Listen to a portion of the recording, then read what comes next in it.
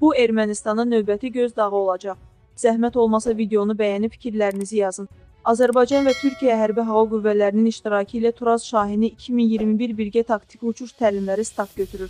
Konya şəhərində keçiriləcək təlimlərə Azərbaycan HQ-nin 2 ədəd MiQ-29 və 2 ədəd Su-25 döyüş təyyarəsi ilə qatılacaq.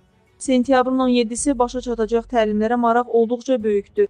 Hərbi ekspert Ədalət Verdiyev Sputnik Azərbaycana təlimlər onların əhəmiyyəti barədə fikirlərini bölüşüb. Ədalət Verdiyev bildirib ki, Azərbaycan 2015-ci ildən bəri Turaz Şahini təlimlərində iştirak edir. Bu təlimlər Azərbaycan Hərbi Hava Qüvvələri pilotlarının ölkə sərhədindən kənarda qatıldığı ilk aviasiya təlimləri olub.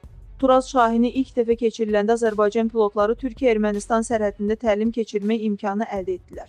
Ərazinin iqlim şəraitinin tanınması və əməliyyatlar teatrının tanış olunması baxımından bu da olduqca əhəmiyyətli idi.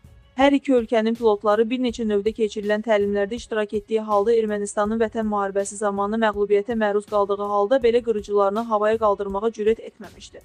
Bu təlimlər Ermənistana və onu silahlandıran tərəfdaşlarına növbəti gözdağı olacaq.